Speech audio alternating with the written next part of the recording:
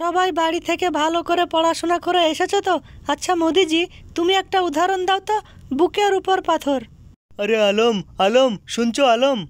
আলমকে কি জিজ্ঞেস করছ তুমি? তুমি বলো। ম্যাডাম আমি আলম ভাইকে এই কারণে ডাকছি স্কুলের বাইরে একটা পাথর পড়ে আছে। ওই পাথরটা নিয়ে আসবে আলম আর আমি শুয়ে পড়ব আমার বুকের উপর পাথরটা দিয়ে দেবে। তাহলে আপনার উদাহরণের উত্তর পেয়ে যাবেন বুকের উপর পাথর। খুব ভালো উত্তর মোদিজি খুব ভালো। আচ্ছা কাদের? তুমি বলো। হাওয়ার সাথে কথা বলা হাওয়ার সাথে কথা বলা উদাহরণ দাও একটা। হাসিনা ম্যাডাম আপনি তো খুব সহজ একটা প্রশ্ন করেছেন আমাকে। আমি এখনই হাওয়ার সাথে কথা বলছি। হাওয়া তুমি কেমন আছো? হাওয়া তোমার কোনো সমস্যা হচ্ছে না তো? কাদের? তুমি এটা কি করছ? কি করছ তুমি এটা?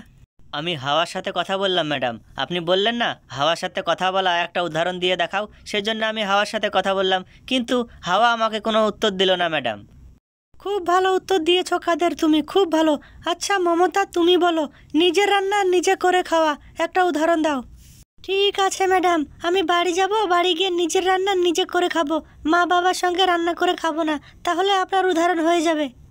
খুব ভালো উত্তর মমতা, খুব ভালো উত্তর। আচ্ছা মমতাজ তুমি বলো, গলায় গলা মিলানো, তুমি একটা উদাহরণ দিয়ে বলো, গলায় গলা মিলানো। ঠিক আছে হাসিনা ম্যাডাম, তাহলে আমি মমতা দিদির কাছে এসে বসছি। কেন মমতাজ? তুমি মমতার কাছে এসে কেন বসবে?